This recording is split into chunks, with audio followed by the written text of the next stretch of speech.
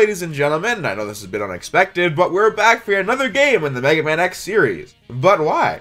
The all-inclusive Mega Man X retrospective ended a while ago. Well, this year we are getting the Mega Man Zero series reviews, and I am a bit out of practice, so let's get back into the swing of things with a Mega Man video. I suddenly felt the need to play through Mega Man Maverick Hunter X while on my break from YouTube, and I looked back in my review of X1 where I called it a versus video like MGS1. However, Maverick Hunter X got a huge shaft in that review, and many comments had pointed that out. In general, that review is pretty mediocre. So I decided to calculate how much time I spent in that review on Maverick Hunter X, and the answer was a minute and 40 seconds. So in this bonus episode of the all-inclusive retrospective, we're correcting the sins of the past by revisiting Mega Man Maverick Hunter X for the PlayStation Portable. By the time Maverick Hunter X was made to remake the original Mega Man X for a new audience, the X series had gone on to have seven sequels and three spin offs. Sales were falling off the cliff, and while many fans will say Capcom's marketing is why, I completely disagree. I think Mega Man fans just weren't buying all these games because the mid 2000s was a giant Mega Man overload. Think about it. From 2000 to 2010, we got the following. Mega Man X5, Mega Man Xtreme 2, Mega Man X6, Mega Man Legends 2, Misadventures of Tron Bonne, Mega Man 01, Mega Man 02, 03, 04, Mega Man and Bass release on GBA, Mega Man Battle Network 1 through 6 and their Pokemon-esque variations, Mega Man Star Force 1 through 3, and thanks to all the variations, there's literally 7 Star Force games in existence. 7! Network Transmission, X7, X Command Mission, X8, Mega Man Powered Up, Mega Man Anniversary Collection, the Mega Man X Collection, the Mega Man Zero Collection, Mega Man Maverick Hunter X, Mega Man ZX, ZX Advent, Mega Man 9, and Mega Man 10. In my opinion, there were just too many games released at once, which turned audiences off, which is unfortunate because a lot of these were pretty good games, with Mega Man Maverick Hunter X the PSP being one of those. I don't plan on giving this a 40 minute review, but like I said earlier, my X1 review barely talked about Maverick Hunter X, so I just want to give it a spotlight for a quick J's Reviews episode. Back in the original video, one of the aspects I thought I had done quite a bit of justice to was the presentation. The story arc here is exactly the same as the original Mega Man X. X joins the Maverick Hunters when Sigma starts a rebellion, but X gets badly beaten by Vile, to which his friend Zero saves him, and we then play through the 8 Maverick stages, become more powerful, uncover the truth of X's past, and try to defeat Sigma and Vile, and succeed, but at the cost of Zero's life. Context, build-up, and payoff is the real difference here. Similar to X5 and onward, X has a brief dialogue with each Maverick, and as opposed to spouting absolute junk in a vain attempt to be philosophical in a Mega Man X game, here we learn things about the characters and why they do what they do, and why they would want to join Sigma. Whether it be boredom like Chill Penguin, a sense of loyalty to Sigma like Storm Eagle, or how Spark Banjo just isn't very smart, and as a result, he isn't quite sure what's right, and so Sigma told him what to think. It's stuff like this that really fleshes out the world and characters, with one of my favorite details in the whole narrative being how the boss rush begins with Launch Octopus with this cutscene. Launch Octopus? I am Launch Octopus. I am under orders to deal with any intruders. Sigma must have brought his body back to life. I have been ordered to fight. That one scene makes a much more powerful statement than anything in X7 or X8, because Sigma works so hard to convince people that they should work alongside him since they as Reploids are worth more than these humans, and as a result, they should feel as if they should get that treatment, with X and Zero taking them down as they go on. The boss rush was always a game mechanic first and a part of the storyline. Never. But this explains it gameplay-wise, but also recontextualizes it into a reason as to why Sigma is so evil. The reason being that after X beats all the Mavericks, Sigma brought their bodies back to life. But not their personalities. I enjoyed all of the quirky Maverick personalities we got. Like, who didn't like the flamboyant Launch Octopus? So to see them back, but basically soulless versions of themselves, it shows how Sigma does not care about them, or Magma Dragoon, or Neon Tiger, they're all just numbers for his side, which is a dark twist to the whole boss rush idea. Back to the whole point of build-up and payoff, Sigma gets mentioned several times by Vile and Zero, as well as X during the intro stage, with every single Maverick and X debating about Sigma for the whole game. So now Sigma's on the top of your mind as opposed to some guy who just shows up at the last level who is mentioned once in passing, and where you need to read the manual and play sequels in order to understand. X1 built up a vile battle at the end, but Maverick Hunter X has both of the villains in your mind from start to finish. Sigma himself is so amazing in this game when it comes to writing. As the retrospective went on, I was highlighting just how bad Sigma was when it came to the ridiculous comebacks and just how stupid his entire personality was. But playing Maverick Hunter X again makes you remember how good Sigma was for a long time. He had a point to his personality in X1 through X4 and was tied to some serious emotions in X5. He had a message, a moral debate, and so on. But that gets undermined by coming back in X6 and even worse in X7 with the god awful voice acting. But here, oh man, Sigma and Maverick Hunter X some of the best acting in the entire Mega Man series. This game comes with a miniature movie called The Day of Sigma that details everything that happened before the events of the game, including Sigma's time when he was leading the Maverick Hunters. He just seems so charismatic and caring. However, when he turns Maverick, he unleashes a nuclear weapon on a populated city, killing Dr. Cain himself. There are many others on my side. You see, evolution requires sacrifice. Behold!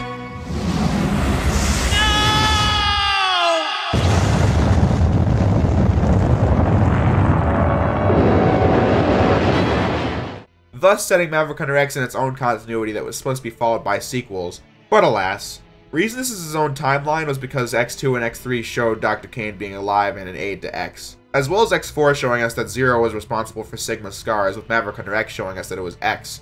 But as I was saying though, Sigma's personality, he's just so deliciously evil that you have to love him, but again, he's got a bunch of serious points. But I just love how committed he is to being a Maverick. Take the ending scene of The Day of Sigma, for example.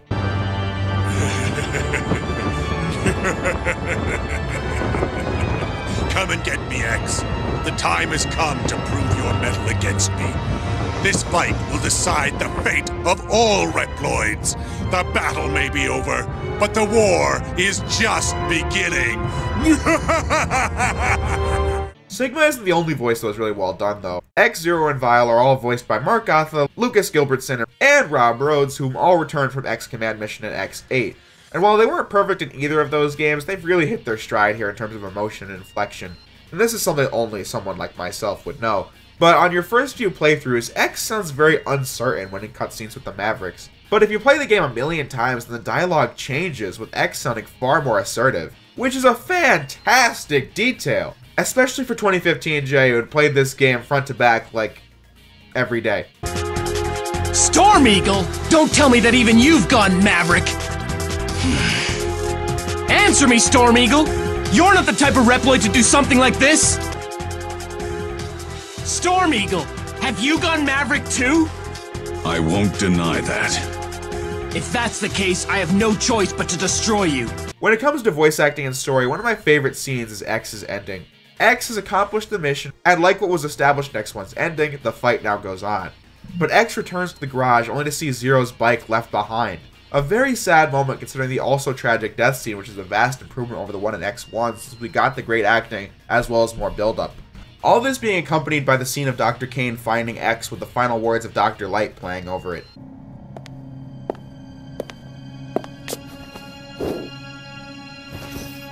What's this? My name is Thomas Light.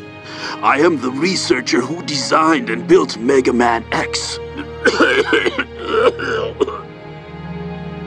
I granted X special powers that no other robot possesses. Utilizing his conscience, he is able to think, worry, and act entirely of his own accord. In general, I think this is the best Dr. Light I have ever seen. With his voice, you can really buy the serious emotions that were intended with the light capsules. Nowadays, you always think of the fact that Light seriously has made enough of these damn capsules to last so many games, but in Maverick Hunter X, it really feels tragic. Thanks to X4, we know that Light presumably lost all of his creations to Zero, and in his last days built X to save the future. The actor also has a ton of range since he later played Light in Powered Up, the remake of Mega Man 1. In that, he played a lighthearted and goofy Dr. Light, what you'd come to expect from classic series Light. But like I established, here he's playing a Dr. Light in his final moments, and the contrast is quite nice. Having said all this, that covers the story. Graphically, Maverick Hunter X is like X8 when it comes to the look of the models, however it's nowhere near as muddy as X8 was in that regard, with the crappy textures and sloppy models. Maverick Hunter X is of course on a PSP screen with the resolution being lower than X8, but the art direction makes up for that since the models are much more appealing with the environments that look much more interesting. Speaking of interesting environments, that was one thing in X1 that showed where the graphics were lacking, since many of the backgrounds were a bit generic and flat in terms of the color choices and details. With Maverick Hunter X obviously being a vast improvement in that regard, with not only more color and detail, but more life in general, making the environments more practical. I talked about the soundtrack in my original look, and my opinion is generally the same. All the pieces you know and love from X1 are back and completely redone. As we all know, different means ruined, but let's take a look at it. I think most of Maverick Hunter X's soundtrack is pretty good. It's pretty hard to ruin good composition to begin with, but still. Some of the best pieces being the intro stage, Storm Eagle, Chill Penguin, and Sigma Stage 1, and the final boss especially.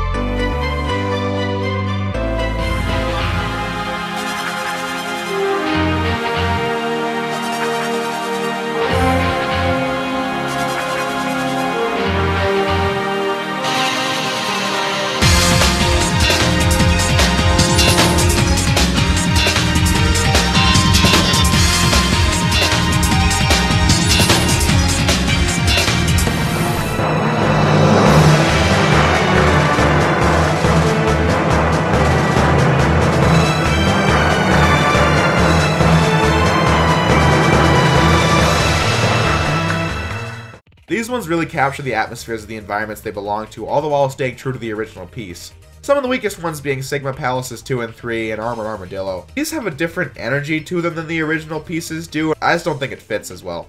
But all in all, a pretty good soundtrack that I wouldn't have too many objections raised to if you asked me to listen to it. The controls in X8 were the smoothest the series had seen with seamless dashes and incredibly fluid wall jumps, which was great coming off how terribly those elements were handled in Mega Man X7. I've noticed Maverick Hunter X isn't nearly as smooth as X8, but it's still quite good, and some of the best action in the series. The only real difference between the two is that in Maverick Hunter X I usually have a harder time dash jumping off of walls, Initially, I thought this was the fault of the Vita's buttons, but this is actually just the game. Beyond that, X runs, jumps, and charges up to two levels and later a third. One complaint I have with this is that for whatever reason, charging a shot in Maverick Hunter X takes longer than it does in other X games, which usually throws me off since I often shoot the green shot because I forgot about the longer wait period. Especially with the arm parts. Some bosses take longer because of this, like Boomer Kuwanger.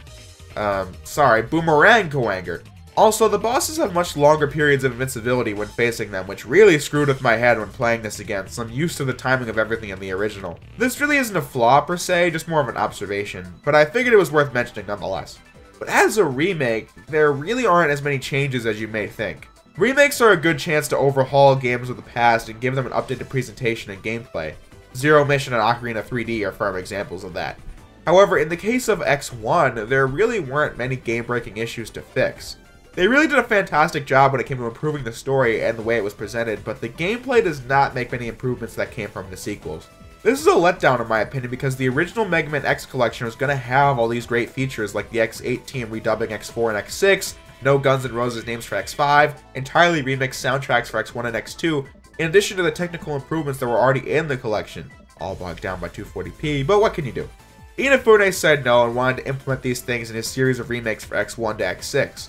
Since this game didn't sell well, all of those great things were lost to the ether. Point is that the X Collection didn't get that cool stuff because of the Maverick Hunter X series, so this game should have been a massive improvement over the original. X1 is one of my favorite games of all time, so I'm not losing sleep over this since Maverick Hunter X is in my top 5 X games for sure since it's so close to the original, but from an analytical standpoint, I feel disappointed since more could have been done. For example, the intro stage is the exact same runtime as X1. The pointless second encounter with the mini-boss is still there, as well as a long stretch of nothing in the middle. In fact, we now have the ability to replay the intro stage, which is nice, I guess. And just like the original, we now have to go track down the foot parts since level design that's obviously meant for the dash must be played with the default running speed, making these levels seem so much slower than they probably are.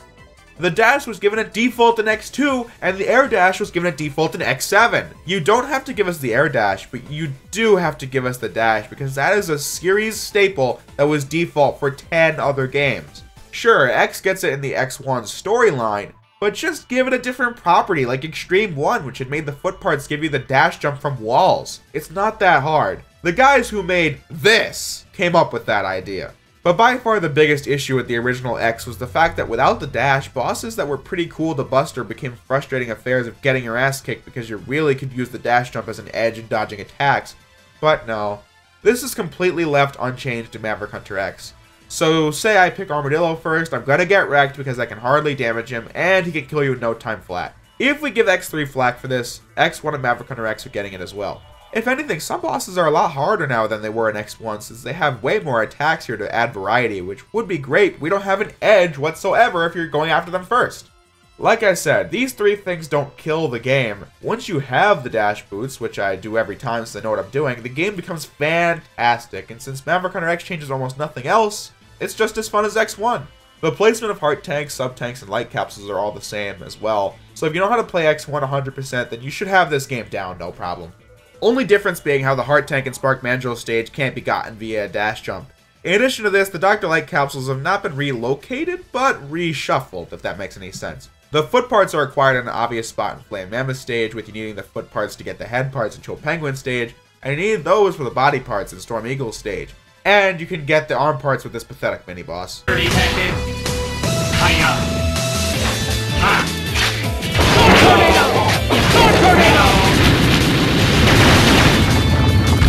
I don't like this at all. You can get the arm parts after the foot parts, but the other three are gotten in this really scripted sequence, and I think that takes away some of the customization. Functionally, though, these are identical to the X1 counterparts, except the arm parts. Well, not the ones from Light. Those are exactly like X1. But if you don't get the one from Light, the one from Zero is unique, which is a good addition over X1. Mixes up the gameplay a little and lets you, the player, experiment with different options. It really isn't until the Sigma stages where things are a bit different. For example, the first stage goes underground and into the water as we sneak into the palace, with the Bospider battle at the end being far more forgiving in timing, meaning the RZ won't have to whine nearly as long about how hard it is. With stage 2 being a rise from the caverns, with the pit section from stage 1 of X1 put here in stage 2 as the way in, with similar set pieces to the stages we've already played. With stage 3 visually being far more interesting here than in X1 with the flags and purple walls as well as being in a spot where we battle Vile as opposed to Stage 1, with both bosses for Sigma 2 and 3 being identical to the original.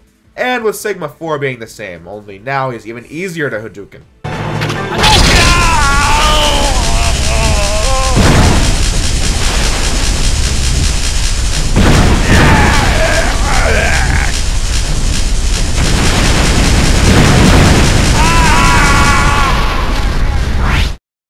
After beating the game, you unlock two other modes. First being hard mode, which I think is meh. I beat the whole thing, and it's pretty generic hard mode stuff, like increased damage for bosses as opposed to the cool stuff like European extreme modes in MGS games. Everything you know from the main game is there, and so if you play your cards right, you shouldn't have a problem. Especially since I've beaten this game more times than I'd like to admit. But that's neither here nor there. Yeah, what he said. If you need a frame of reference, the hard mode Maverick Hunter X is just like X3. Starts out brutally hard because of stupid stuff, and then once you get some power-ups, it's pretty easy. The other mode being a new playable character. Not Zero, not Axel, but Vile. This is cool. Somebody should have slapped 2016J across the face for his piece on Vile's gameplay, since I only showed the intro stage, just like I said, that was as far as I got. But how could it be that hard? I went back and actually tried it this time and found myself delighted to see the challenge. Vile's mode does actually have stages that are slightly remixed with enemy placement that's more difficult to deal with, since Vile doesn't work like the three hunters we've grown to know. He has three abilities you can equip, one for the arm cannon, one for the cannon on his back, and one for him to drop from the legs. Defeating bosses will give you equipable parts in these three categories, and you can't use all at once. It works like the skill shop in Sonic Generations, where all of these have points, and depending on their value, you might only use one or two if they're that good. This is the kind of mix and match gameplay that I can get into. He also doesn't have a dash, but unlike X, I don't mind since his ground speed is much higher, and his style of gameplay isn't about getting past the nuisance enemies, it's about strategically getting past them without getting your ass kicked. With the item placement also mixed up, meaning that you're going to have to rethink this entire game, and I like that in an alternate mode.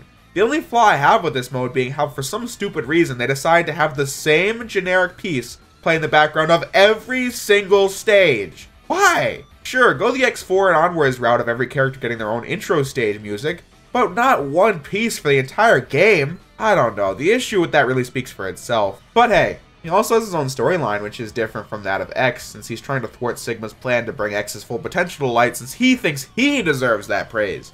With him absolutely devastating X and Zero in the ending, but ultimately losing, only to then be left behind by a disappointed Sigma. Possibly a setup for Vile's comeback in Mega Man Maverick Hunter X3, which I'll never see come to life. Ah, thanks guys. Which only leaves me with the conclusion. What do I think of Mega Man Maverick Hunter X?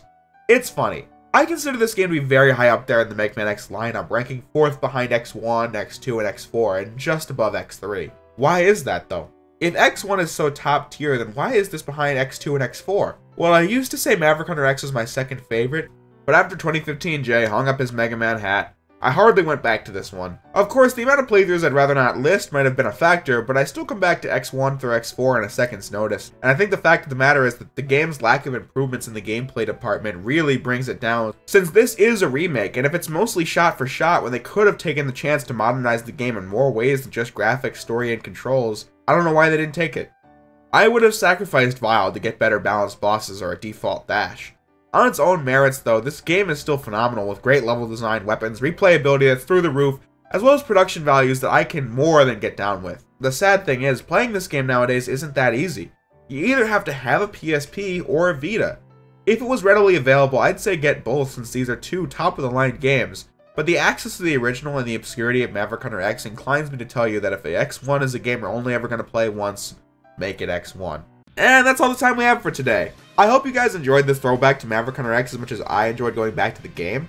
And with all that said and done, I want to make sure it's crystal clear that I love Maverick Hunter X to death and have so many memories of playing it in a very down time for me. But it does have flaws like any other game does. With this video finished, I now feel like I'm truly done with the X series, and now all I can say is, bring on the X Legacy collections! I'm ready to have day one reviews, live streams, and all kinds of coverage for that stuff for you guys. In addition, I'm hoping some X-Fan games come out this year so I can tackle them as well. No pressure on any devs out there since I'm glad they're gonna wait, but I figured I'd get that out there. And of course, there's also the Mega Man Zero content which will be released exactly on